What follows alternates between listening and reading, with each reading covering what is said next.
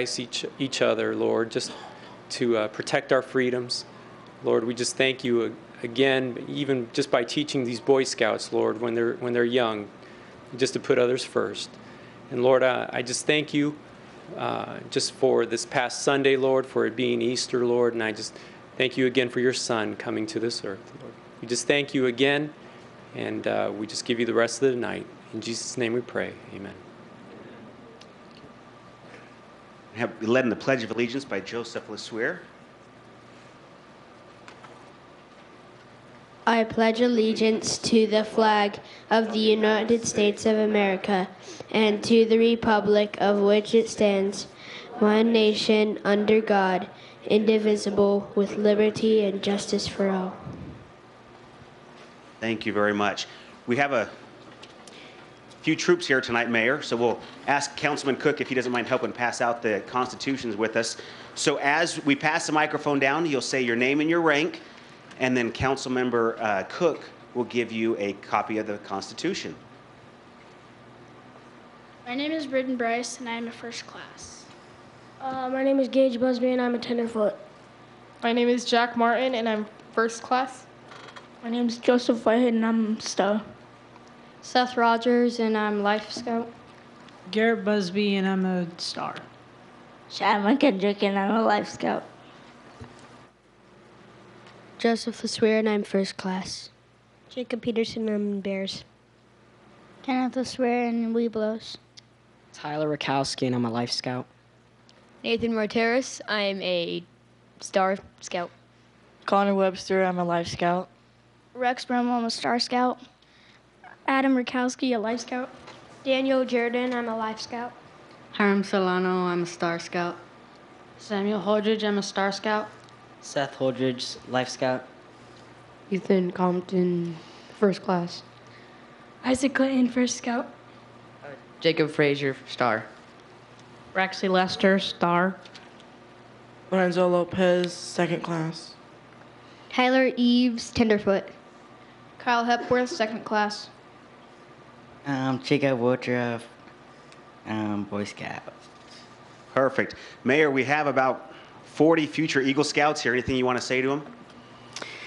Well, to the community, these are some of our finest, and another reason why many are here, as Pastor Hector mentioned in the invocation, we have been blessed in Gilbert tonight to have just recognized two individuals who served in the military and have returned home safely. And that was Specialist Daniel McDonald and Specialist Cody Whitlock. And so to the Scouts, thank you for coming to cheer them on. It's one of our um, greatest events that we have in Gilbert, our, our Operation Welcome Home, and for the Scouts to be here and see that, uh, these future leaders and individuals are doing so much in the community. So I, other than just thanking the Scouts for being here and their leaders, um, I'll leave it at that. Wonderful. Thank you. You're welcome to go back and sit.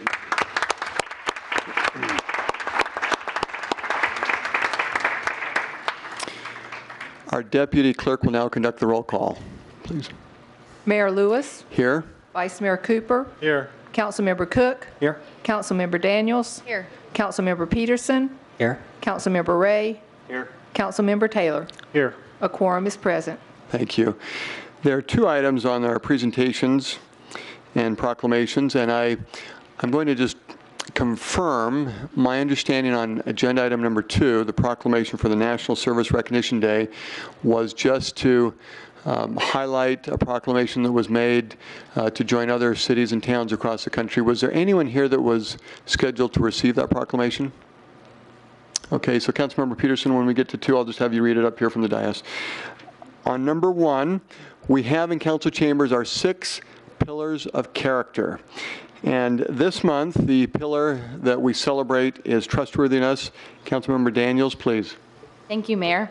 As council members and town staff, we agree to be honest, not deceive, cheat, or steal, be reliable, do what you say you will do, have the courage to do the right thing, build a good reputation, be loyal, stand by family, friends, and country. Thank you. I mentioned in our study session on Tuesday night that we would move up agenda item 25, which is to talk about current events. And Melanie, do you have something you're ready? Okay. As you come forward, I will also mention that today was a for many reasons, another great day in Gilbert. In addition to the Operation Welcome Home uh, ceremony that just took place earlier today, we had many of our finest Gilbert youth here participating in Government Days.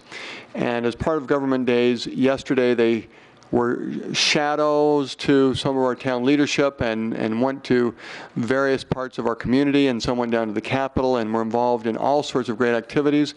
And then today they simulated a town council meeting just like we have tonight. And, and I did hear that uh, Mayor Henderson uh, did a great job, and that uh, at any time, if I'd like to step down and let Mayor Henderson uh, step in, that he's well prepared and ready to do so. That uh, particular uh, simulated town council meeting by our youth will be broadcast on Channel 11. Will also be available on the internet through Gilbert Digital, and so you'll get a chance to see that in case you were not here in council chambers. We also uh, today welcomed four final candidates for the town attorney position. And many in the community had a chance to greet them and hear and see their presentations, and so uh, we thank them, and that process will continue tomorrow. And then by way of uh, uh, coming up in the next few days, uh, Saturday, the Feathered Friends Festival will take place at the Riparian Park. A week from Saturday will be the Global Village Festival, which will will take place later in the afternoon. And then Wednesday night is our Mayor's Youth Leadership Summit. Uh, We invite you to go to our town website, to the newspaper, uh, other sources to see more about those uh, events, and they are some of our finest uh, events in Gilbert. Uh, We also have, Councilmember Petersen, a week from Saturday, the, please? Uh, we are we are Gilbert Day on April 13th and have a number of opportunities on gilbertcan.org. That's gilbertcan.org if you want to sign up. There's still some empty slots, but a lot of people have already signed up, so we're very excited and it's going to be a great day of service, Mayor. Thank you. It is a day of hundreds of volunteers in Gilbert uh, uh, working together for some great projects, and thank you for, for your leadership in helping make that happen. Well, that's, uh, that's kind of the lead-in to, we also have some events of Gilbert Gets Out Week, which has a lot of great things to it, so please. Thank you, Mayor. My name is Laura Young, and I'm a recreation coordinator at the Freestone Recreation Center. And I appreciate the opportunity to share with you all um, our enthusiasm and excitement about our Gilbert Gets Out events. Um, Gilbert Gets Out is a coordinated effort to encourage our community to get out and really experience all of the wonderful things that Gilbert has to offer. Gilbert Gets Out Week is a chance for families and friends to get together, be more physically active, create their own personal masterpieces, learn a new skill, and explore some of our fabulous facilities and parks. All of our activities are free, family friendly, and take place at various locations throughout the town. This year, our event will begin on Friday, April 5th, so tomorrow, and will culminate on Saturday, April 13th with our summer camp sneak peek. And new to our events will be their class samplers as well as our summer, summer camp sneak peek, which will provide patrons the opportunity to come out, try our classes, find out, find a class or a sport or one of our other programs that really fit them and their family that they will enjoy. Also, new to the lineup this year is the Arizona Puppet Theater, and they're going to be performing The Little Red Hen at the Southeast Regional Library. And Rich Ale is going to bring his slithery friends out so that we can all enjoy some reptile adventures. And that will be at the Freestone Recreation Center on Monday, April the 8th. Always popular is McQueen Park Activity Center's Earth Day. Our Earth Day celebration features the opportunity to allow patrons and participants to interact with different um, town departments so that they can learn new ways to become green. We also have arts and crafts made with recycled projects, with recycled um, materials, and face painting, games, and much, much more. Other activities that we are going to be offering is our Wiggle Worms Adventures, Family Craft Time, and a Build a Rocket workshop. On Friday, April the 12th, Freestone Recreation Center will be hosting our old fashioned family picnic and our club Zumba. We were very lucky last year to have Mayor Lewis join us in our activities, so hopefully this year all of you guys can come out and join us. Our old fashioned family picnic will take us back in time and will feature music from the 50s and 60s and traditional picnic games such as the three legged race and the water balloon toss. Immediately following our old fashioned family picnic, we will be having our uh, Kids Club movie night, which we're going to be showing Little Rascals, again, a toss back to their 50s. And then while that's going on, mom and dad are welcome to join us all for our Zumba Club dance party. I really want to appreciate that you guys gave us the opportunity to come out and talk about this, and we'd love to see you, you out there as well as everybody else. So come on out and join us. All right, thank you. This looks like there's just a few activities to be part of the vibrancy of Gilbert the next few days. Thank you.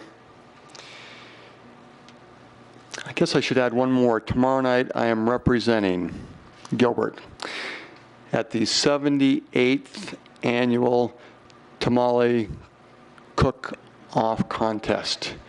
And mayors from throughout the valley will be in downtown Phoenix for the Friendly House. It's a fundraiser for them.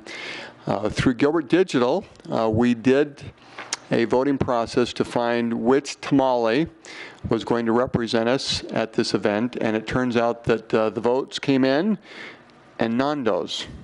So Nando's tamales will be part of that contest tomorrow, and we are looking forward to it. And of course, I'll be voting for Nando's first, and we'll see who gets second place. But looking forward to that.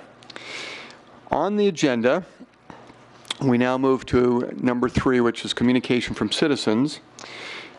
As listed and, and, and noted, documented, at this time, members of the public may comment on matters within the jurisdiction of the town, but not on the agenda.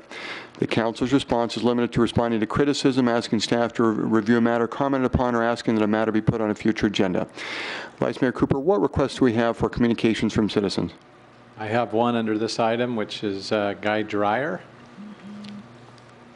Guy, if, and in this section, if you can state your name, and if you're a Gilbert resident for the record, and then you will be given three minutes to speak. Thank you. Thank you. It's kind of hard to walk in here tonight and see what was going on with Daniel and Cody. My name is Guy Dryer, first of all, 848 North Gilbert Road. I'm with Pawn 1st. You guys have seen me a couple times before. I came before this uh, committee and looked for some relief here a couple months ago, as well as a, a certificate or a conditional use permit. But as I walk in here and I see Daniel and Cody and, and I see what's going on, I commend you guys for what you do and how, how you're working with your community and your guys. I don't have such a great story. May 27th of this year will be two years that I walked home, and got home to my driveway and had a couple chaplains in my driveway to tell me my son wasn't coming home. And, and you know, why I say this is not because I'm looking for sympathy from anybody, but I say this because when our young men and women do come home, I want to ask you guys, how are they going to be treated as if when they come in as small business owners in the town of Gilbert? When they try and open up a business in the town of Gilbert? I've got roll shutters on the back of my building to protect the assets of your citizens and of my merchandise. I'm going to court on the 11th to see a judge because we haven't been able to make it work. I've given solution after solution. I've worked with the town. I've tried to do what I can. I put $200,000 into the building.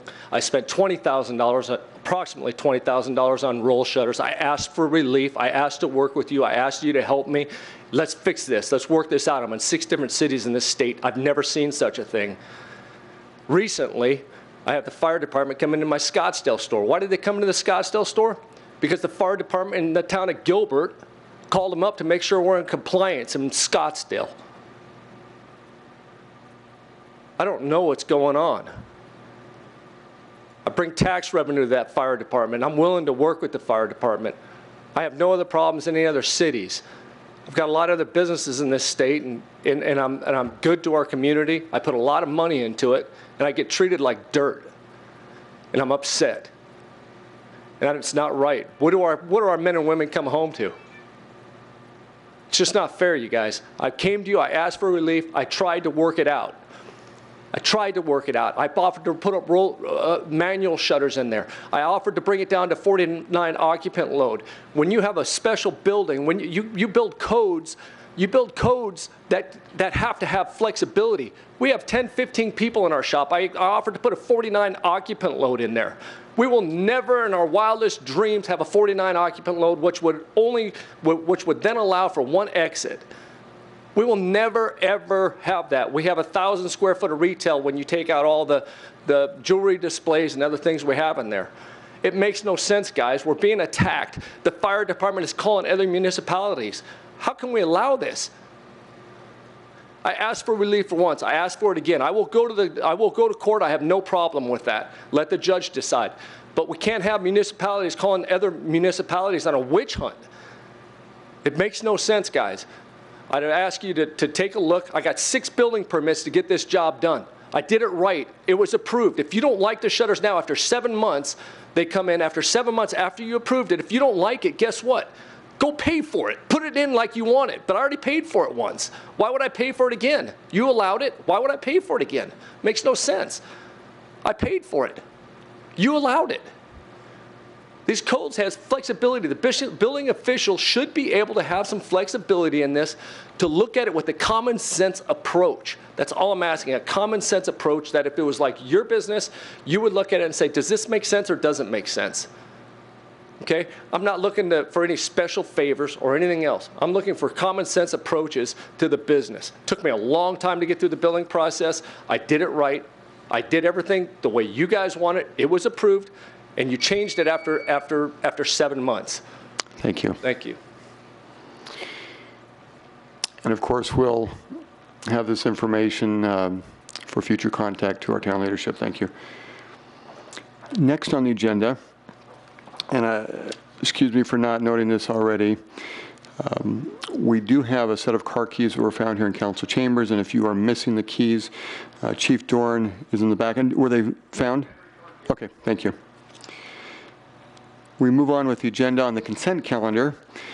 And as listed, below are consent calendar items and may be approved by a single motion unless removed at the request of council for further discussion or action.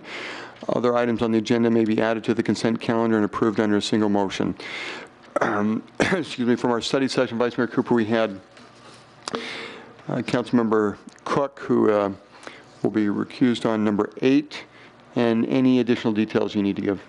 No, Mayor, I'm ready to make a motion. Okay, please.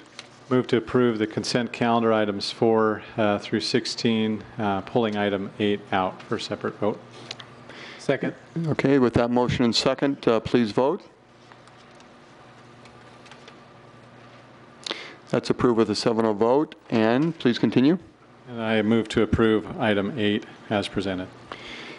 Is there, okay, with that motion and second, please vote. And that's approved with a 6-0 vote. Thank you.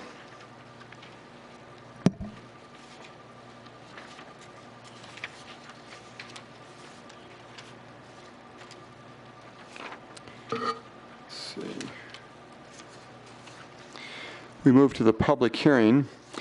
We have items 17 through 20 will be heard at one public hearing, at which time anyone wishing to comment on a public hearing item may do so. Comments will be heard from those in support of or or in opposition to an item. And in order to comment on a public hearing item, you needed to fill out a form.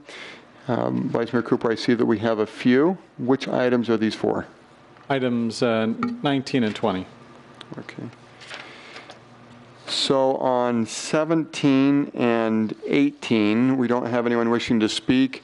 And to the council, before I open the public hearing, um, did we have any discussion on 17 and 18? Okay. All right, let me, let me go ahead and open the public hearing on 17 and 18. Councilmember Cook. Um, On item 18, I know that we uh, use some wonderful talent from our university to help develop some of the graphics, but I just wanted to make a note that um, maybe in the future, we might use a format that can be easily editable if we need to make changes, because I think some of that graphics artwork, uh, it's kind of restricting us. So just in the future, as a note, that we, um, you know, not to say these will change, but again, just more flexibility and the ability to have it easily done in the future if we need to make some changes in the future. Thank you. Any other comments? I close the public hearing on agenda items 17 and 18, and we'll entertain a motion. Mayor, I move to approve items 17 and 18. Is there, okay, there's a motion, second, please vote. That's approved with a 7-0 vote, thank you. I now open the public hearing on agenda items 19 and 20. And we had brief discussion on, on Tuesday in the study session. Jessica, if you could, please make the presentation.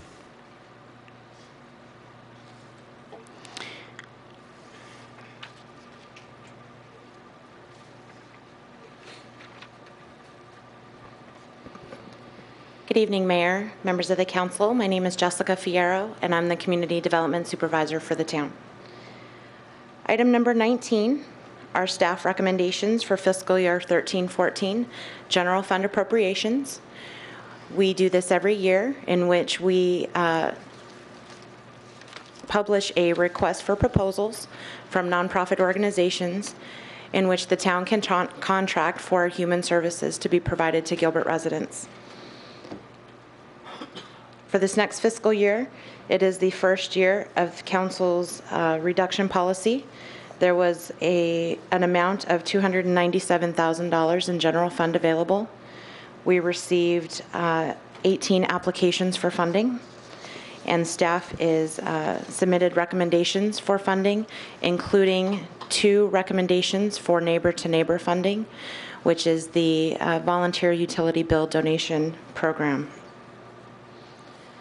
We did uh, issue applications. Uh, Nonprofits submitted them, and staff did review them using a weighted evaluation tool. And you will see in your um, information that the evaluation scores were included, as well as staff recommendation amounts. Mayor, I'm happy to answer any questions on item 19. Thank you. Council members, do we have any questions at- at this point? We do have, oh, excuse me, Councilmember Ray? I have a question, but there's more discussion. There are some um, uh, requests to speak. Should we do those first? Okay. Vice Mayor Cooper, please. Mayor, we have uh, two people that would like to speak uh, for, uh, and then eight people that are for this item and the next item. And I should clarify that those that wish to speak are also for the next item as well, item 20. Eight people uh, who are for items 19 and 20 who do not wish to speak, but they will, we have their information here and we'll note it for the record. Okay. So, uh, Jessica, why don't we, you talked about 19. Why don't you give the brief overview of 20? Because I do see that these are noted to talk on 19 and 20, and so the, the public is aware of, that's the overview on 19, overview on 20, please. Thank you, Mayor, members of the council. Item 20 are staff recommendations for fiscal year 2013-2014 Community Development Block Grant, or CDBG appropriations. This is federal funding that is received uh, by the town to provide human services. We also issue a request for proposals to nonprofit organizations to provide those services to Gilbert residents. We are anticipating receiving approximately $750,000 in next fiscal year for CDBG funds. We received six funding applications. Again, staff used an evaluation tool to uh, evaluate each application. You'll note in your packet that the evaluation scores and the staff recommendation, recommendation amounts are included. And I'm happy to answer any questions about item 20. Thank you. Any questions on 20 at this point? Vice Mayor Cooper, let's proceed. okay, we'd like to call Trinity Donovan, and then after Trinity, Gail Dish. And Trinity, welcome as one of our great members of the Chandler City Council. We appreciate you being here. And, and as you saw, if you could state your name and whether or not you're a Gilbert resident for the record, please. Thank you. My name is Trinity Donovan. I am not a Gilbert resident, but I serve as the CEO of Chandler Christian Community Center, and we um, have two programs that are located in Gilbert. And Trinity, I think you also heard in, that you'll have three minutes to speak, and then the buzzer goes off. Please. Great. Thank you so much. Well, Chandler Christian Community Center is pleased to partner with Gilbert to provide senior programs to Gilbert residents. These programs have been offered in Gilbert for decades. Last year, CCCC began to administer the funds when the former agency chose to focus on other programs. And one reason that we were able to work with the funders to ensure these programs would still be provided was because of our past experience with funding sources like CDBG, Valley of the Sun United Way, and other funds. I'd like to give you a quick picture of the impact of these funds as well as, as the leverage that's provided um, with these funds. So last year in Gilbert, the Senior Center provided around 32,000 meals to over 411 participants. Almost 300 people participated in 828 activities with a total attendance of over 7,300 visits. On average, over 120 people per day are receiving meals through this program, either through the congregate setting at the senior center or through home delivered meals. And um, the seniors in Gilbert access these nutritionally balanced meals based upon a variety of reasons. Those receiving the home delivered meals qualify when they have no way to get to the congregate meal setting. In addition to the nutritional benefits, the meals provide other benefits. And one of the most important benefits is, in my mind, is that seniors are able to remain independent and in their homes longer versus needing the assistance of a nursing home. For those who qualify for the home delivered meals, it's far less costly for us as taxpayers to spend $8 per meal for the home delivered meal with a wellness check than the approximately $150 a day that, that we would pay for them to be in a nursing home because they would qualify for those services as well. And that's um, according to Area Agency on Aging statistics.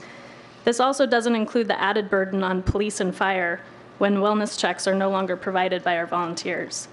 Now, that $150 a day wouldn't come out of the town's budget, but neither does the $8 per day that the meals cost, because one reason you've partnered with us is because we leverage your funds with Area Agency on Aging funds and Valley of the Sun United Way funds.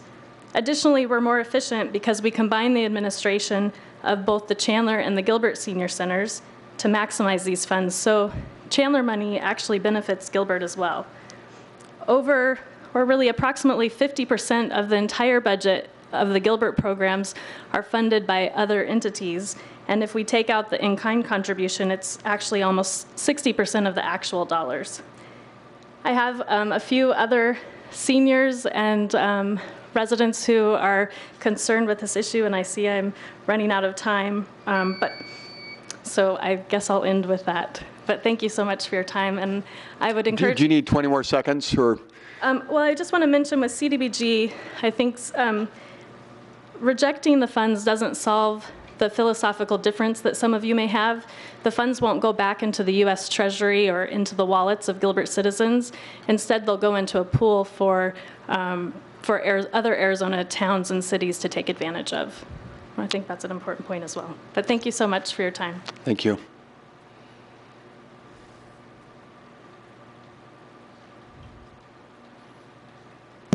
Gail Dish.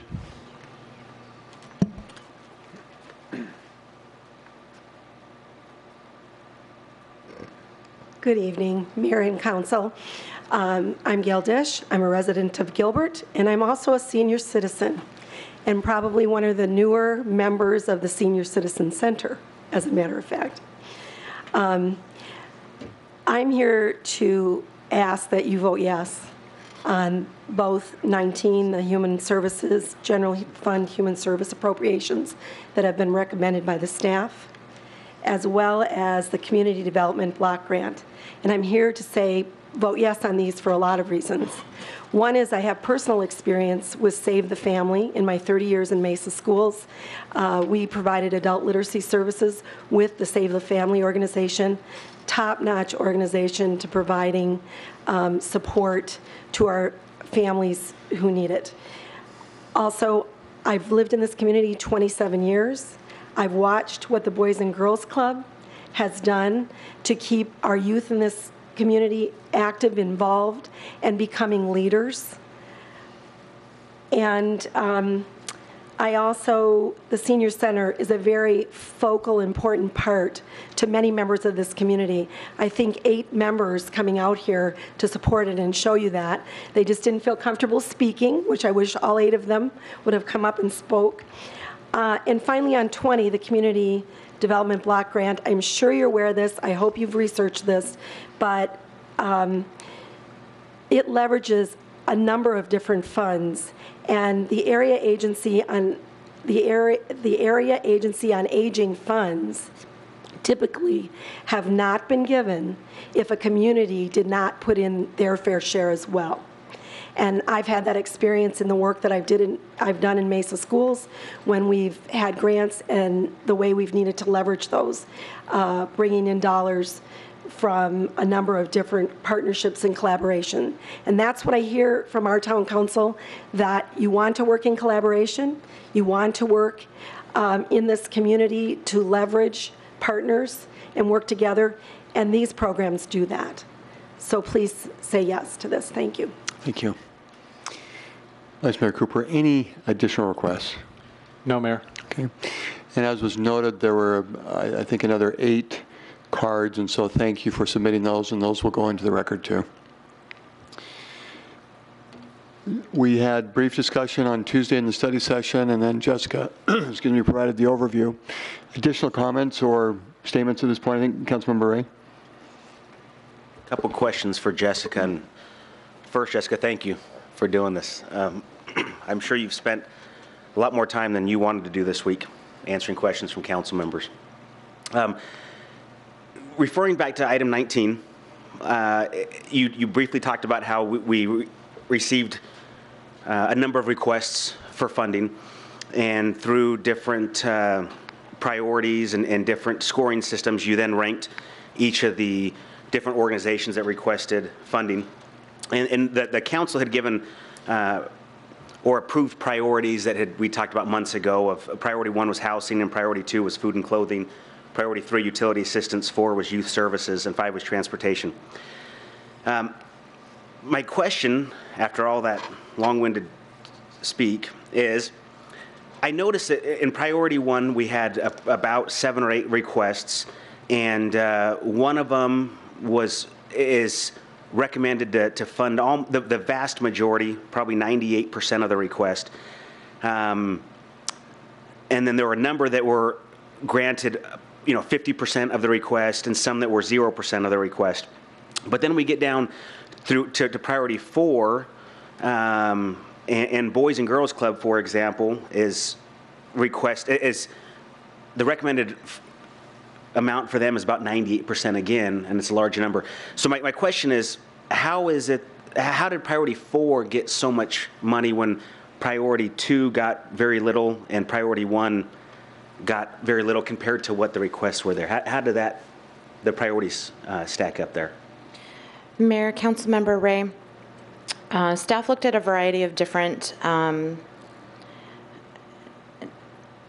um, they looked at a, a, variety of different aspects of each application. Um, staff took into consideration council's direction to um, keep the funding amount similar to the previous year. Staff did not recommend funding for any new service or new applicant for this year, considering that it was reduced funding. So we did receive um, requests in priority one um, as as well as in uh, other non-priorities for new services. Also, in order with the amount of funding that was reduced for this first year, which was approximately $33,000, staff looked at across the board on the best way to keep as many services uh, available to residents uh, this first year in funding reduction because we have a minimum funding amount of $5,000. If we were um, able to fully fund some of our priority one requests, many of our other priorities wouldn't have received any funding at all.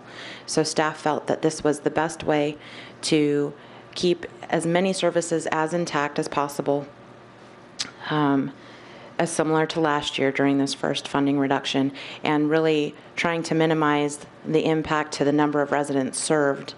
Um, for example, if uh, Boys and Girls Club, which is in a lower priority, took a much larger percentage of decrease, the number of clients that they serve would be far more greatly impacted or reduced than some of the smaller agencies had they got the same percentage of funding cut.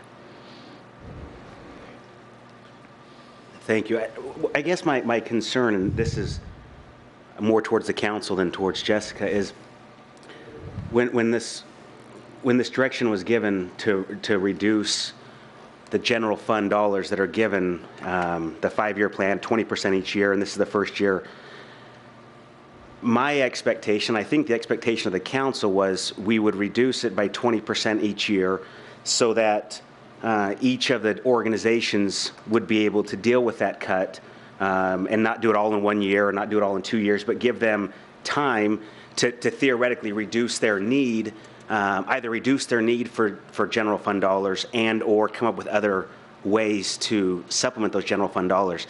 And so I'm concerned that we're giving 20% less as a whole, but some of the organizations are taking a 1 or 2% cut in the funding, while others are taking 50, 60, 70, 80% cuts in funding. Uh, and so my, my concern is over the next four years, as this continues to take a 20% cut each year, at some point, the, we are going to pull the rug out from under these groups because in a year or two, when we're down 60%, we can't continue to fund them at 98%. So they're going to go from 98% to 60%, 40%, 30%. And so I guess I'm just saying this for the council. That, that's one of my concerns with this, um, is the, the policy idea of slowly taking this, these funds down each year. I don't know is, is, is, is happening with the way that these numbers are written. Thank you. Other comments? Councilmember Petersen? Something I wish I'd had time. First of all, I, I, I share that concern. I, of course, I have the caveat that last year I voted against the funding, so my position to negotiate on something I'm not going to vote for is weakened by that. But um, I did have a question in the application. Talked about um, there were some concerns with one of the applications. We don't have to name it for you know sake of not embarrassment, but can you explain why, if there's a concern with an application, why would we fund it at all? Wouldn't we just cut it? I, I don't understand that. Can you help us shed some light on that? Mayor, Councilmember Petersen, the concern was not um, whether or not the organization could perform the services, but more about the overall impact and benefit that the clients receive by getting that service. Uh, Council direction was to look at and evaluate services that help um, residents increase their self-sufficiency. And this particular application did not do- demonstrate that. There were a number of areas in the application where there were items that were not demonstrated as well as uh, some of the other applications, so their score was quite a bit lower. Um, So there, there's no administrative concerns um, as far as whether they can handle the funds. It was just more of an impact to residents. Councilmember Cook? Uh, Jessica, do you have any status as to what our next steps are for the needs assessment? And going back to that, because I know that's something I've been asking for. Um, I- I'm just kind of wondering where we're at with that process. Mayor, Councilmember Cook, the needs assessment funding is currently proposed in the CDBG budget, which is the next agenda item. So uh, if that program passes, we will continue to proceed with the needs assessment outline and timeline. If that does not pass, it will be um, council's prerogative on how to direct staff on how to move forward with the needs assessment. And the timing, assume it's approved, um, remind us when that would take place? Assuming it's approved, Mayor, um, funding would be available July 1st. Staff is able to do some preliminary um, work on the needs assessment prior to when funding would be available. So um, staff had originally anticipated bringing an outline or at least um, a timeline forward to council um, late April, early May. Okay, thank you. Other council comments? Okay. Councilmember Cook? One of the reasons why I bring up the, the needs assessment, um, Mayor, was that I, I had the fortune to um, meet with the leadership of one of our large congregations. And um, there are a large number of our residents involved in these large con- congregations that are really asking the town, you, what can we do to help? We, we have, um, we have feet on the street, we have folks with, you know, some extra dollars to provide, and, um, and again, back to trying to figure out how to organize a, you know, a global effort here in the town of Gilbert still very much a mystery to me, because it's trying to get the goodwill and the good hearts of our, our residents and business owners to kind of jointly figure out how to, you know, apply some of those wonderful resources and not needing to, you know, use tax dollars. And I, I still trying to put my arms around how to do that because they're definitely reaching out to us in this. And uh, if you have any insight to share in how we can make this all work as a large, you know, family here, I think that would, I, I, I look at some efforts toward that. Thank you. Councilmember Daniels? Thank you, Mayor. I um, have seen a lot happen over the last four years when it comes to CDB, CDBG funds and also um, Health and Human Services within the town of Gilbert. And um, we have talked about the needs assessment a couple different times, but as you know, we've been in a uh, bit of a financial downturn over the last several years, and the dollars needed for something like that um, haven't been available to us as a council. Uh, and we have put other priorities ahead of a needs assessment. I would agree with Councilmember Cook that now is the time for us to, to embark on that. There have been several uh, community organizations who have offered to partner with us. Um, and a preliminary needs assessment was done just last summer, um, which was essentially um, rejected by the town because of its uh, lack of statistical uh, ability to to really do some prediction for us. So work has been done. There are partners out there willing to work with us, but I think um, decisions have been made by this council to not continue with some of those partnerships. And I would suggest that we do, as Councilmember Cook has suggested, put our heads together and find a great way. Um, it, it's it's a it'd be a new model. We have looked far and wide for the exact proper model, and we don't have one. So back to the agenda item at hand, Mayor. Agenda item 19. Um, I'm ready for a motion whenever you're ready for motion. I think there might be some council members, and I, I do recognize that th- from our study session discussion that we would like to separate both neighbor to neighbor and general fund dollars. Thank you. Councilmember Ray. Before a motion's made, I, I just want to make my, my position clear on this, and I, I appreciate staff's efforts to determine the recommended funds to give to each of the groups.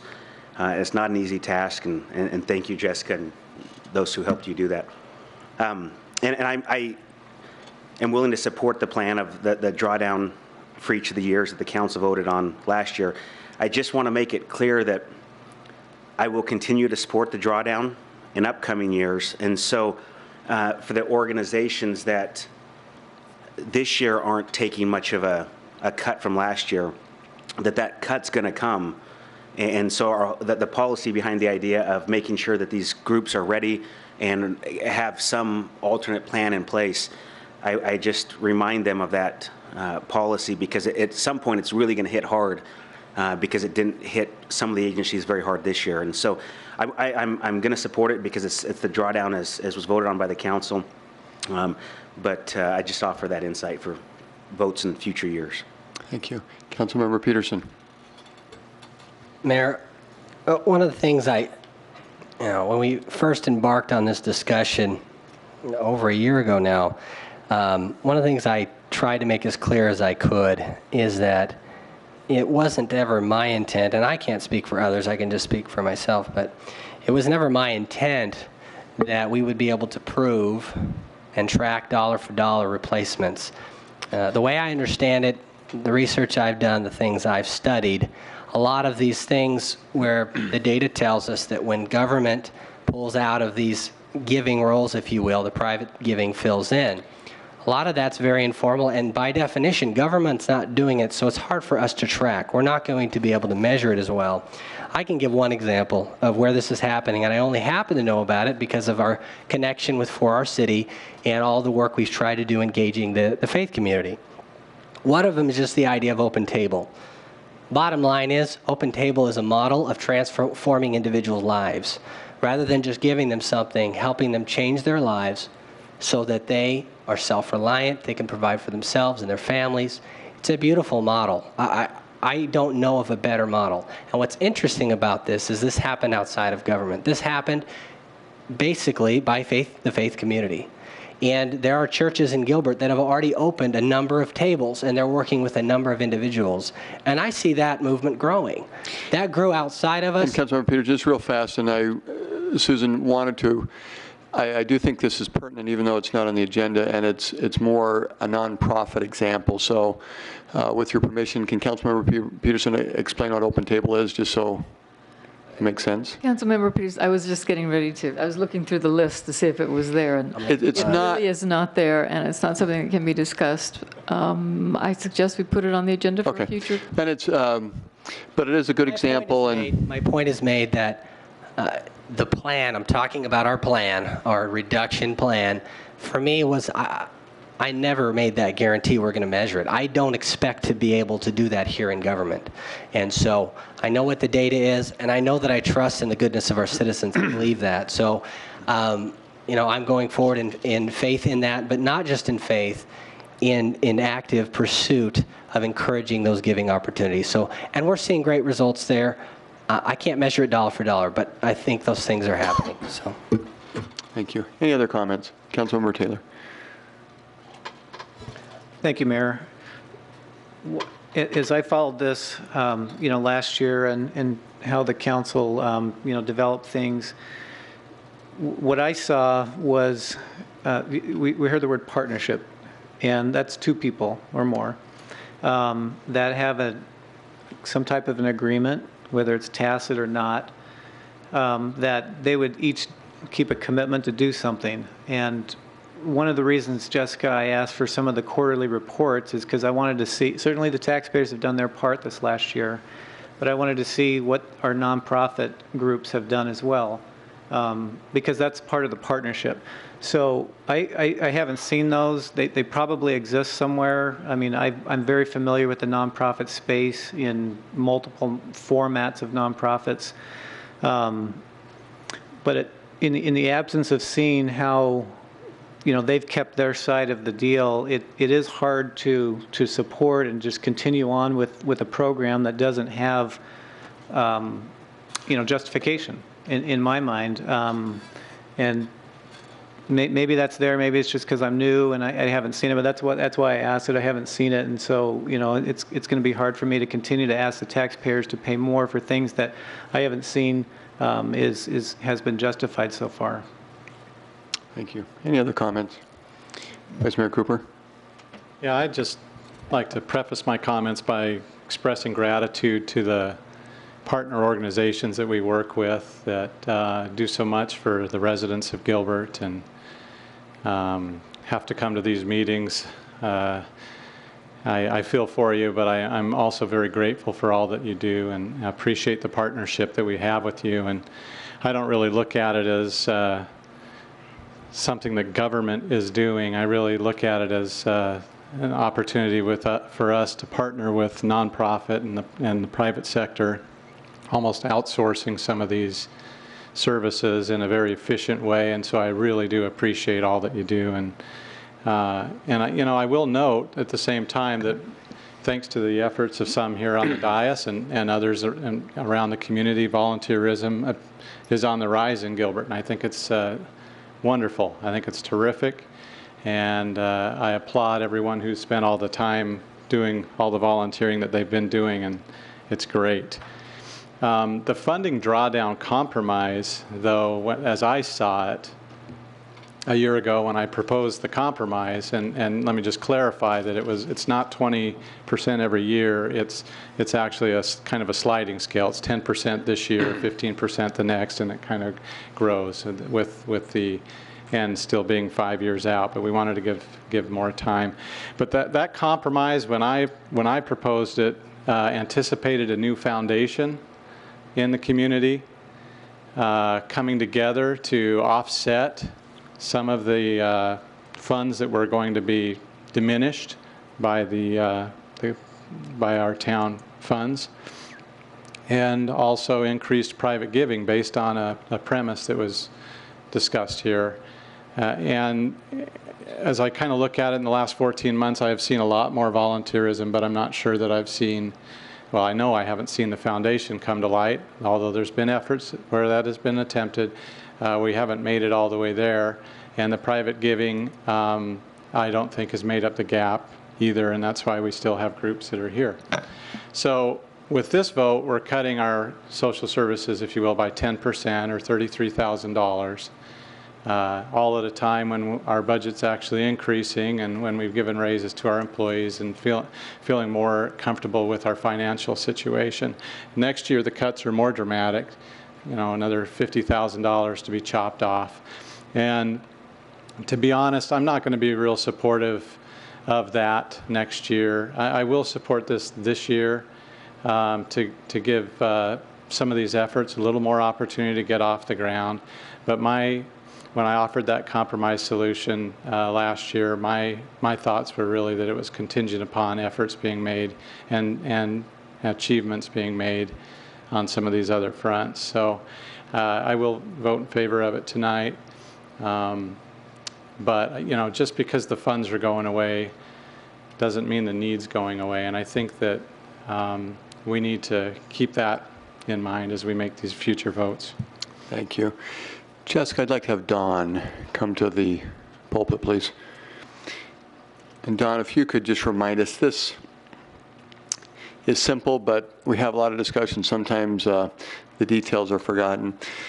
We've, we've had two uh, council agenda items that were approved, and that is the utility bill funds and then the neighbor to neighbor. And let me use, let me round this year as an example to 300,000.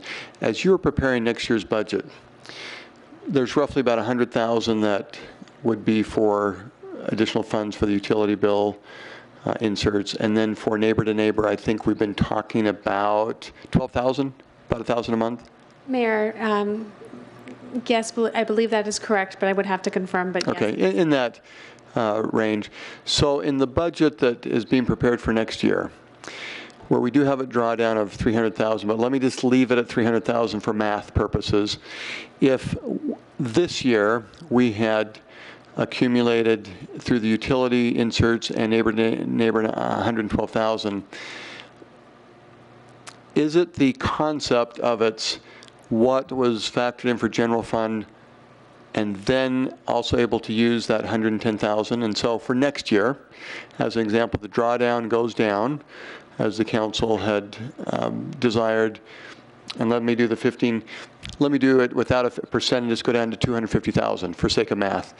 That we go down 250,000, but does that 112,000 get added to the 250,000 so as we continue to draw down that it, if we find other sources, that, let's say, totals 300,000, that even in five years, we have 300,000 to work with, that Jessica would continue to do as she did to evaluate and make recommendations.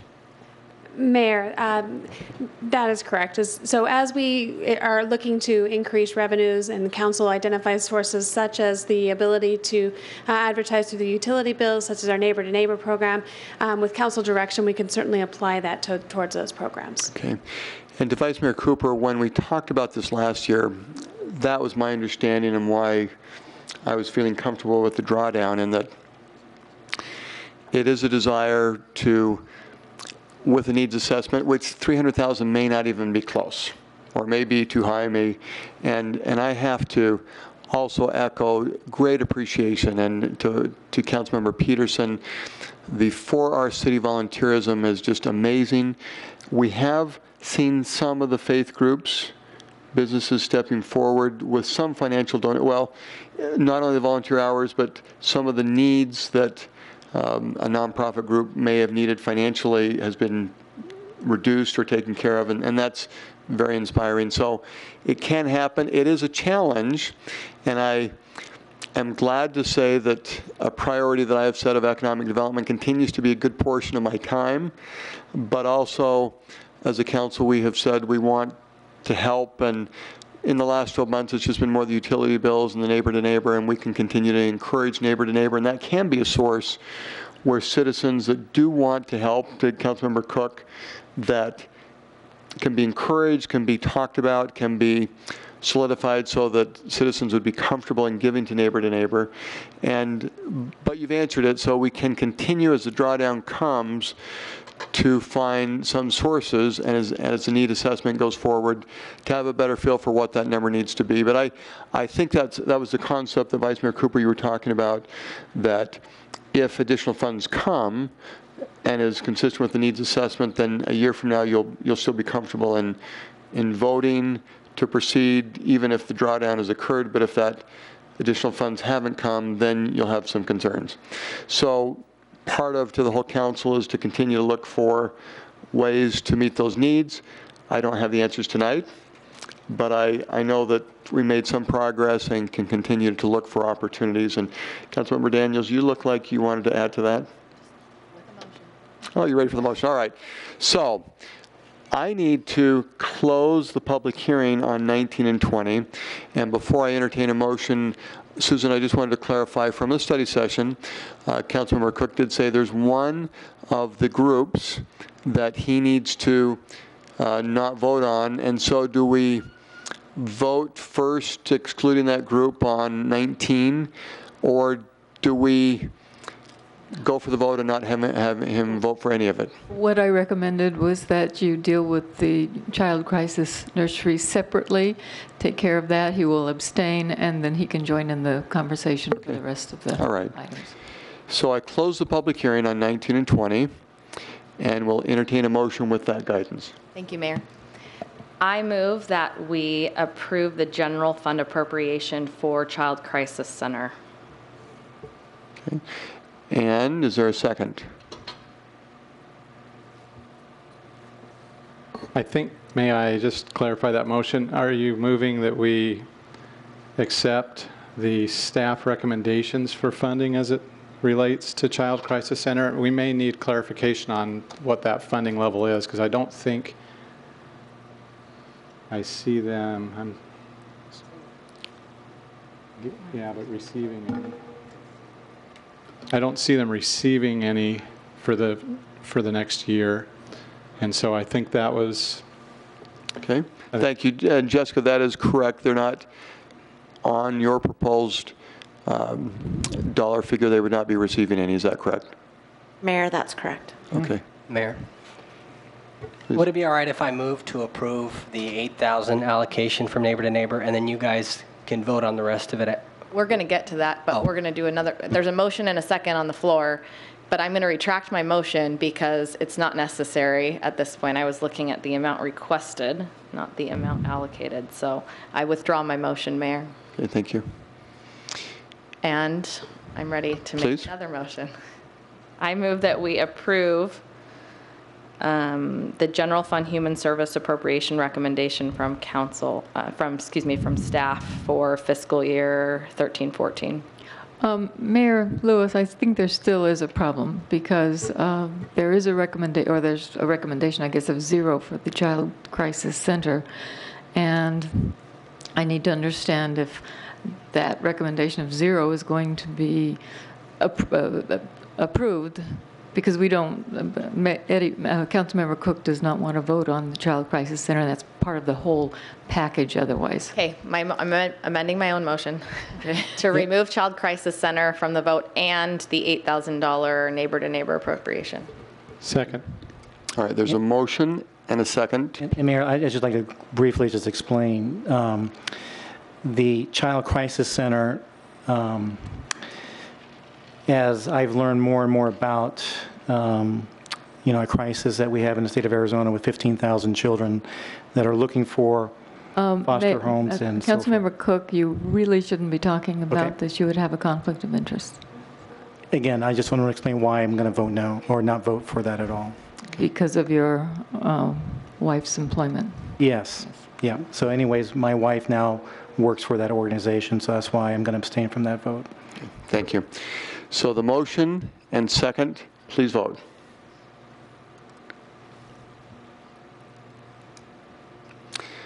That is approved with a uh, 5-2 vote. Thank you. And neighbor to neighbor? Okay, and would you like to make that motion? Is that Councilmember Peters? I'd love to make it. Please. We move to approve the $8,000 allocation recommended by staff um, being paid for by neighbor-to-neighbor funds. Second. Oh. Okay. There's a motion and second. Please vote. That's approved with a 7 of vote. Thank you. And that takes care of 19.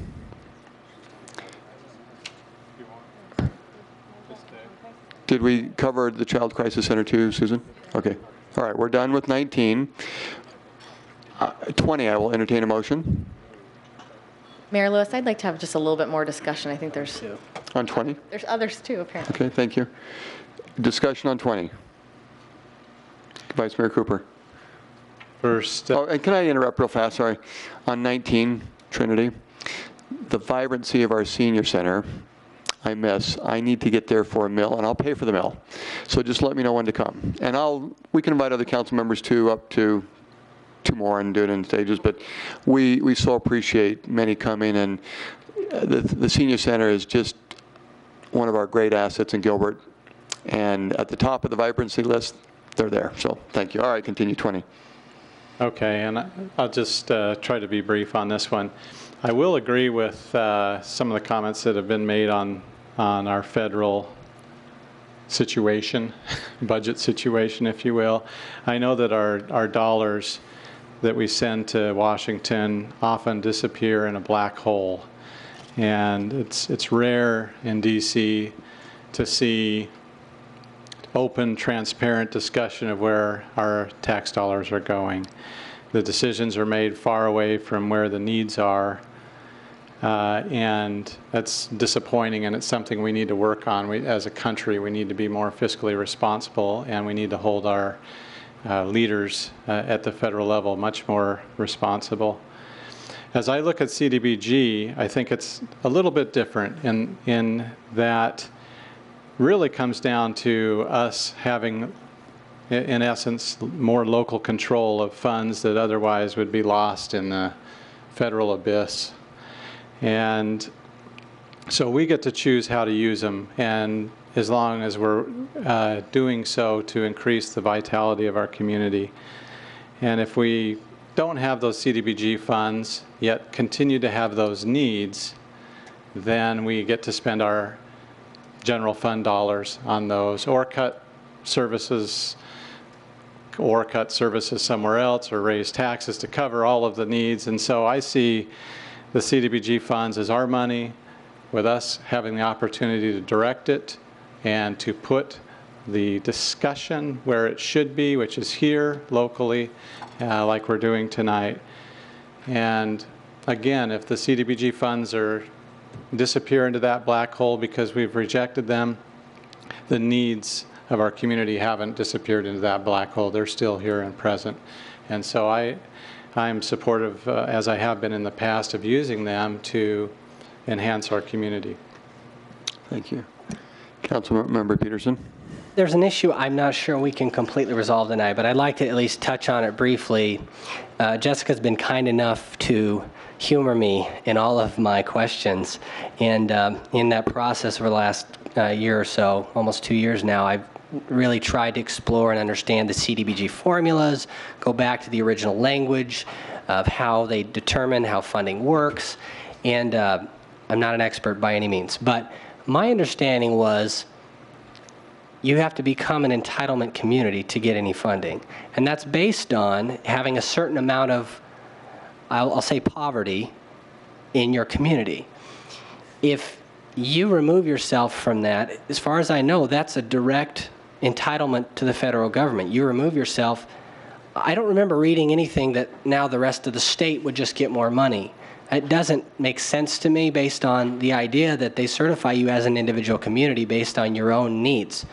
If we say we don't need it, I don't understand why, in what I read, that would end up going to other communities in Arizona. Can you, because you know, I've heard this repeated over and over and over again. It'll just go somewhere else. But in my readings, it doesn't seem to support that. So I don't know if you can provide that language tonight, or if not, maybe we can have a follow-up conversation, but it's, just doesn't seem supported by what I've read. Um, Mayor, Councilmember Petersen, um, to become an entitlement community, it is part of the statute under the Housing um, and Urban Development, a statute that established this fund.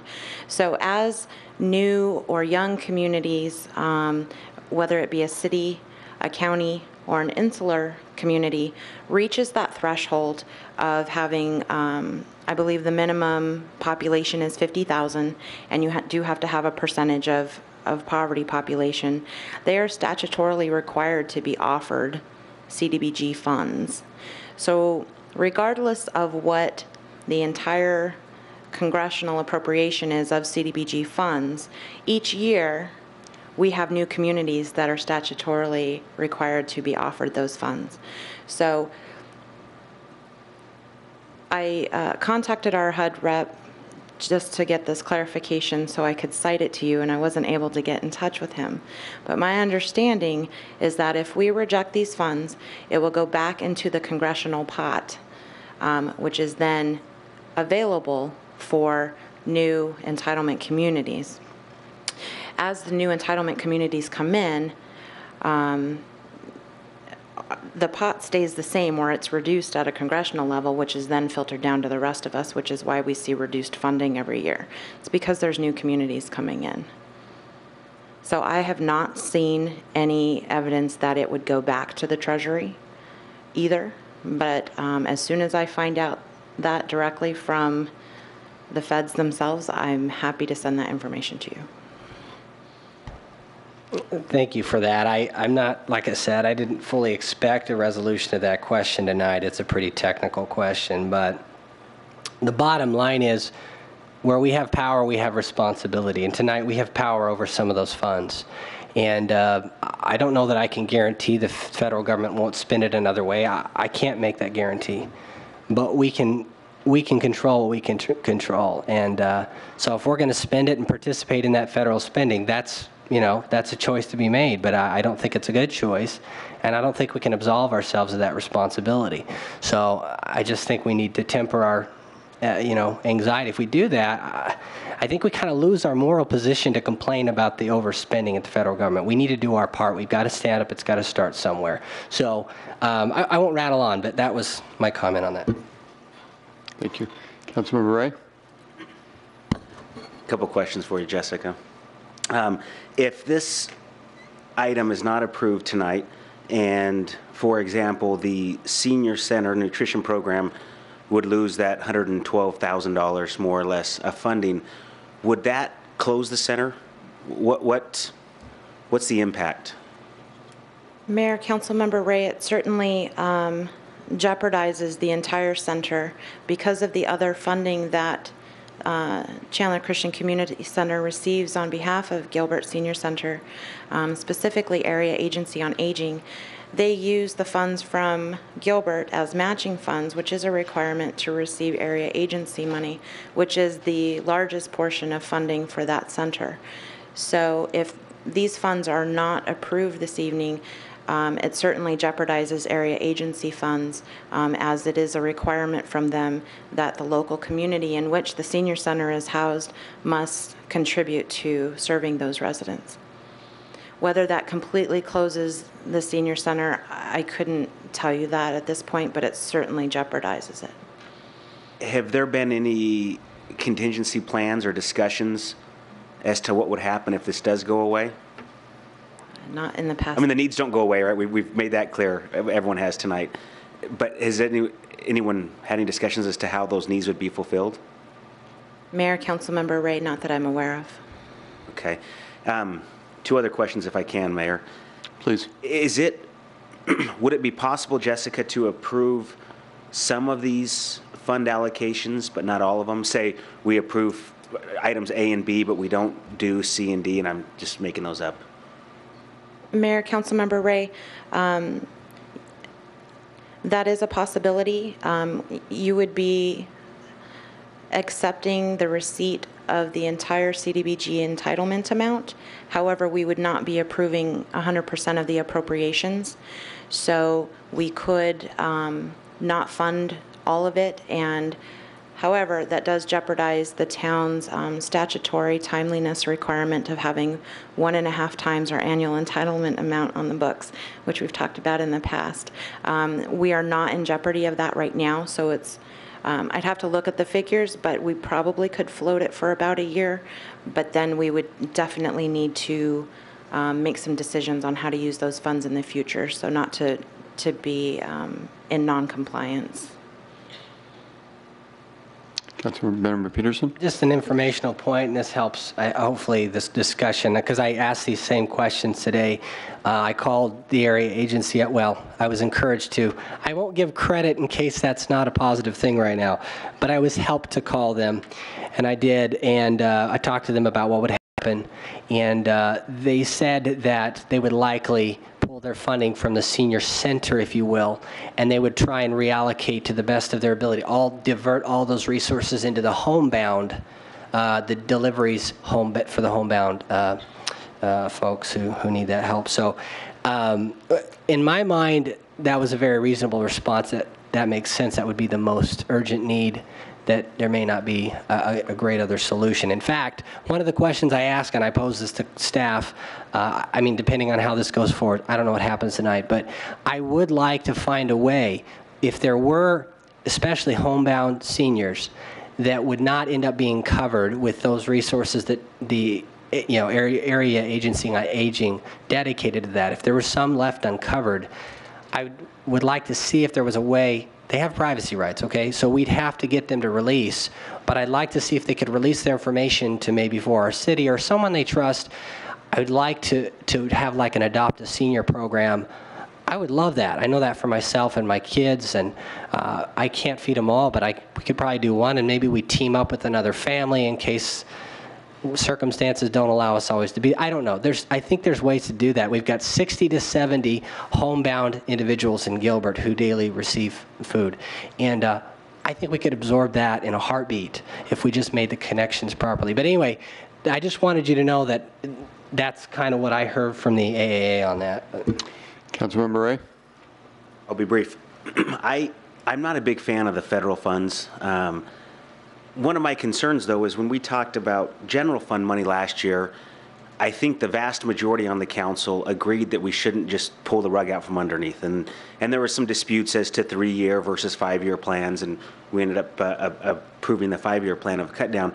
And in some ways, in a lot of ways, I think this is very similar, where if we don't want federal funds, if we don't want CDBG funds, then I think that we should, I don't know if having the courtesy is the right term, but to let people know eh, rather than as they're doing their budget to say, okay, never mind, you don't have any funds anymore.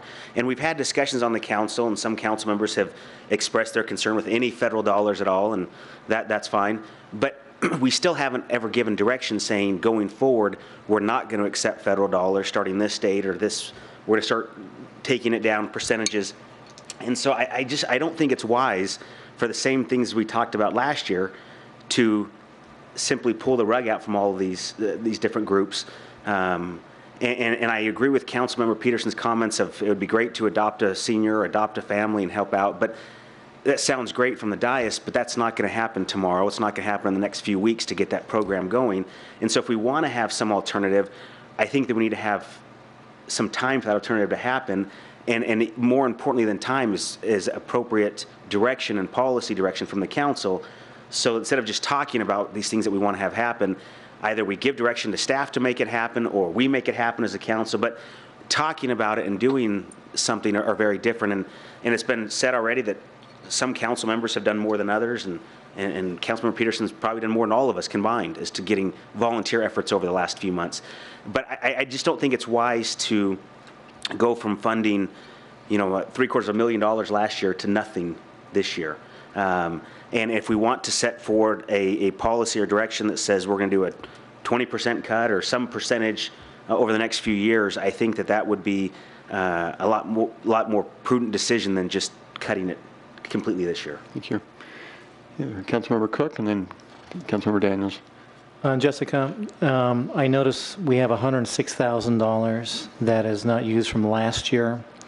If we were to vote no on the, the new funding, will that $106,000 still be available that we could apply to um, the nutritional program? Even though there won't be a- a full 112,000, it'd be 106? Is that a possibility? Mayor, Councilmember Cook, yes, that would be a possibility. Thank you. Councilmember Daniels? Thank you, Mayor. Um, We receive funds as a community, both from locally, we receive them from the county, we receive them from the state, and we receive them from the federal government. So we we receive funds at all levels of government. And we can talk about the constitutionality of receiving federal funds, but federal funds come to our state and they are used by our state government. The state then turns them over to the county or the town. And so um, there's a lot of taxpayer shuffling of dollars. I wonder how much that costs. But there's a lot, a lot that goes on in that in that way. Um, I understand the fear, it's justified, about the federal situation that we are in. However, when I look to see what we do as a community with the dollars that are allocated to us, I think that is our, is our responsibility as a council, is to make sure those dollars are being spent responsibly, that we can account for them, that we stretch those dollars as far as we can. And we at the local level can stretch those dollars farther than any county, state, or federal program. And it's through partnerships that we do that. On another note, my kids play at our parks on a regular basis in the town of Gilbert. And I oftentimes look at our parks in a very similar way as probably our seniors look at our senior center. And I would not shut down the parks in Gilbert. That is home to the recreation and positive outlets for many of our, of our youth. I would not do that to our seniors. Um, I certainly can appreciate the volunteer efforts that go on in the community. Uh, without our citizens who work so hard on behalf of this town, Gilbert would not be what it is, and I think we all know that. Um, concepts like adopt a senior program are wonderful, but you have to think about both background checks and safety of the food that you're delivering, and and there's a lot of different things that we need to be considerate of as we look towards options and opportunities in, in the community to serve. That doesn't mean that we shouldn't stop trying, but I would urge this council to be very open-minded when we talk about the different partnerships because there have been partnerships that we've rejected as a council. And perhaps it wasn't the right time at the right place for the right cost. But I think that we need to be a little bit more flexible as a council in seeking out those partnerships and volunteer opportunities to continue to help us leverage CDBG funds and other financial opportunities to help serve our residents. I think we have to remember these dollars are serving our residents. These aren't going into individual pockets. We have a nonprofit organization that runs our senior center. They stretch those dollars as far as possible. We have a financial obligation to our taxpayers to spend every dollar that we receive on their behalf in the most responsible way possible. And I see that we're doing that through the programs that Jessica has outlined, through our funding allocation process. I, I, it saddens me that Councilmember Taylor didn't get a chance to see the financial statements, but those are all part of the process and approval process. And so I, definitely we need to make every effort that we can to make sure that you're getting what you need um, to help make those educated decisions. So that was my soapbox tonight. Thank you. Councilmember Taylor, did you want to make any comments? Mayor, thank you. Yeah, so this is my first time to address this here, and if, if you'll just indulge a couple of thoughts. I, at my work, I happen to be um, engaging a couple. it- It's a husband and wife consultant, um, and they're from Bulgaria. They are. They have legally immigrated here a number of years ago. He's just a brilliant individual. Um, he came over on a Fulbright scholarship uh, to ASU and did a number of projects there, and she was high up in the finance department there. Um, she was actually instrumental in bringing uh, Dr. Crow in at, at some point. He has his PhD. He's an adjunct professor there. We, we ta- I, I asked him, I said, did you, you, you must have grown up under uh, Soviet reign there. And uh, he says, yeah, it's, it's kind of an interesting contrast seeing some of the trends that we're seeing with some of the redistribution schemes here nationally and what he saw there. And I'm not, I'm not saying the issue here is, you know, relative there, but pointing out to the national trends of, of um, you know, redistribution, that's what he, his words was, you're playing with fire in this country. And um, I also reflect on the wisdom that Margaret Thatcher used to say when she was um, active. And she says the problem with redistribution schemas is that eventually you run out of other people's money. Now, it's easy to say, um, well, we're in America and we're different, and, um, and that'll never happen to us, right? so, you know, daily, the same numbers are in the papers that we have 16.8 trillion dollars in our national debt. If you add other things, that number actually grow, grows much higher. But and and that number is added added every year. We have a 3.86 structural debt, and the Senate has done nothing to change that in their recent budget um, that they finally sent out. And um, every day since September 28, 2007, we've added $3.86 billion to our national debt. And, and I, I, I, you all know those numbers. You've seen them every day. I restate them to, to add the context of the discussion that the, the money for all of this appropriation doesn't really exist. It, it may be something that Congress passes on a bill and a piece of paper has a number on it, but the United States is absolutely broke at the federal level the, local level and state levels, you know, we have constitutions and statutes that require us to have balanced budgets, but we know the national uh, government doesn't. They're running these massive deficits. And so these allocations, while they, you know, send these pieces of paper that says there's money available and that we can, we can do it, um, you know, it's, it doesn't exist. And we're, we're borrowing money from the Federal Reserve and it's loan money from China. And that, that really concerns me. And because what we're doing is we're putting a future burden on our children. And that's really not fair. I'm, I'm not arguing that the nonprofits are not worthy. You know, I personally have hosted private fundraisers for the Boys and Girls Club in Gilbert and raised money. And so I'm not against the Boys and Girls Club or any of the other nonprofits because I do those activities on a regular basis. Um, you know, as, in, as individuals. And, and that's part of the good news in Gilbert is this upswell, this uptick in substantive uh, ways that nonprofits are being funded without taxpayer money. I'll, I'll, give you one example of the small business lunch, right? They launched this cause marketing program. And what I heard from multiple businesses was, where are the nonprofits that I can help and support and raise money? And then just even more recently this year, same, different forum, same response. These were faith groups. They were asking, where can I help?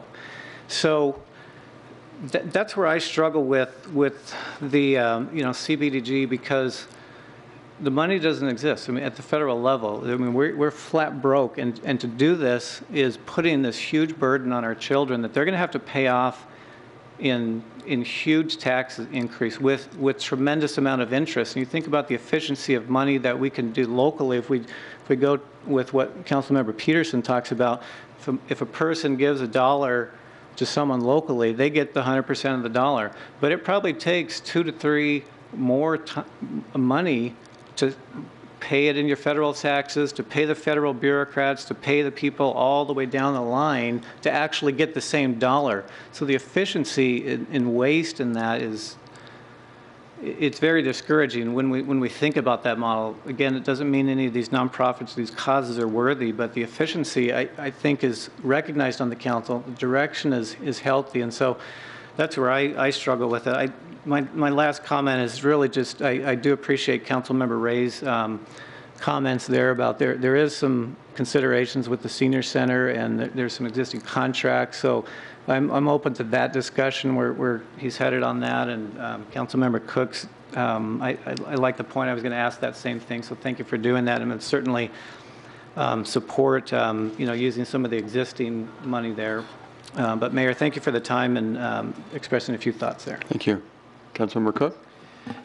And again, I, I don't think, you know, we had this discussion last year. I feel, again, you know, the the federal government doesn't have the money. But again, as I said before, when we talk about the needs assessment, and I know that I'm like a broken record here, I would like for us, if we believe those are the things that we need to do, let's do it on our own dime. Let's do it with our own money. If we have a policy on this council because of our unrestricted, unreserved funds is pretty healthy, if that's something that we need to take because we make a policy of that, um, you know, maybe we can have a discussion. But taking federal money uh, uh, away, to me, is, is, it- in taking, it's just not the right, right decision at this point, to me. You know, I talked to Congressman Salmon. I said, the most important thing you can do for us here in Gilbert is to figure out how to keep state dollars in the state and not go to the federal government and then have the federal government send it right back to the state. Let the local states and local governments, you know, manage its own money. So reduce, you know, the federal burden on us. Let us keep our own dollars, and then we can be better at doing that. But again, to me, um, uh, I'll, I'll, I'll I'll be voting no on this, just like I did last year. And, uh, and again, it's, if we can allocate the $106,000, you know, if for some reason this note goes through, uh, I'm open to that. Anything else? Okay. we've all said our piece, I think, and it's apparent that the vast majority don't like federal money. Uh, and we all have, we all want to do things to, to pay for it ourselves and to raise uh, funds to help pay for this, et cetera. I think that this would be a great agenda item for a retreat and/or for another meeting to discuss what policy we want to make going forward. Um, But like I said earlier, and I'm not a big fan of federal dollars, I don't think it's wise to, to pull the rug from it today. I would be in favor of moving forward with it, but then creating a policy so that when this very same vote or similar vote comes up next year, uh, there won't be any discussion because the policy will have already been made uh, six, seven, eight, ten months in advance rather than the night of. Thank you. So in other words, a policy, Councilmember Cook might be to have local funds support this, which we don't have that policy in place and we don't have the funds planned in the budget. uh, So what I'm hearing is you'd like to have that future discussion, you'd be prepared to move forward tonight.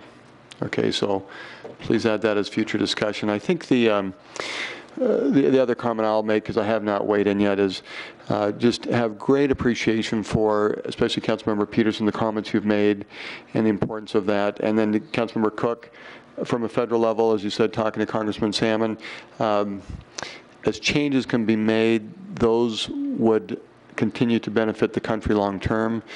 For, for now, excuse me, we have um, the need to oversee taxpayer dollars best we can at the local level. As a mayor, I tend to probably see more of what's happened with the CDBG funds than, than the rest of you, just for various purposes. And I'll give an example. Just a few days ago, um, a special experience where a couple uh, in their 80s came to thank the mayor for what had been done for them through these funds. And it's just heartwarming, but that gets to the whole concept that um, that's not necessarily the, the role of government. And I understand that, and I applaud the efforts again on the for our city, and maybe even for a city where we're volunteer connections could consider, realizing there's some constraints with food and different things, but could consider maybe branching out uh, to adopt a senior, and, and things like that can uh, continue to help us. For, for right now, though, uh, my barometer for Gilbert continues to be economic development, and and that's where uh, these funds are used in a way to build the community, and therefore in building the community, it does everything else for businesses to say we want to be here, for education to continue to thrive, for the community as a whole to continue to, uh, to, to grow and flourish. And our community will get older, and that's why when we've talked needs assessment, the needs are probably going to be greater. And if the federal government changes, I'm all in favor of it, but right now with what we have, we're a board, we're a policymaking group, we're not the professional. The professional is right there, and that's who we put our trust in. in addition to, as the Constitution says, a God, but uh, where working with Jessica, I just have tremendous trust in her recommendations and what she has said and in using the funds. And we may do some tweaking and see things that don't quite work, but uh, back to my barometer again for the sake of economic development, these are items that are blessing the community and making us a community that continues to be attractive to businesses, to families, to individuals. And I just think the risk is very high. Uh, if we don't have a policy in place to deal with it tonight, it's just too high uh, to do anything but support uh, the funds, in my opinion. And I will entertain a motion. After Councilmember Daniels. No, I'd be happy to make them. Oh, please. All right. I recommend approval. I move that we approve the fiscal 2013-14 Community Development Block Grant Appropriation as presented. Second. There's a motion and a second. Please vote.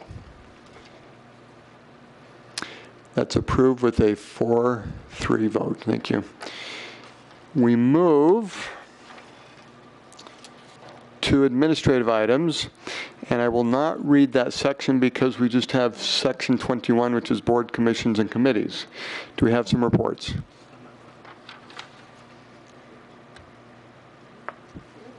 Okay.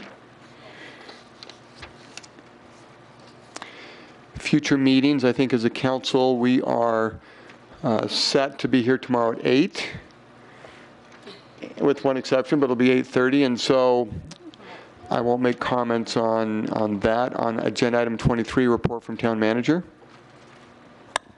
Thank you, Mayor, members of the council. Just a couple quick items. We are in the middle of our interview process for our town attorney candidates. If you are not able to see the broadcast live of the presentations, we do have those on the town's uh, digital newsroom, which you can find on our website, or we will be replaying them on Channel 11 tomorrow, so you can catch them there. Also, uh, beginning tomorrow, the town's uh, app that we developed for the Heritage District as part of, our tourism activities will be, be available in the Apple iTunes Store for download. Wow, okay, thank you. Agenda 20, item 24, report from town council members on current events. I know we kind of covered that at the beginning of the meeting, but Veteran Councilmember, Friends Festival this Saturday at the Riparian, yes. right? Yeah. We've got a lot going on this, this weekend. Uh, I guess I could say too, at 8 AM on Saturday, leadership class of 21 with Patrick leading the way because he's going to graduate with honors, We'll be painting the mural uh, just to the south of the American Legion building. And we are coming with cameras. Agenda item 25, report from mayor on current events, and I think we've covered those. And so to the council, uh, thank you, and to Operation Welcome Home, the finest event that Gilbert has. So Councilmember Daniels, thank you. Meeting adjourned.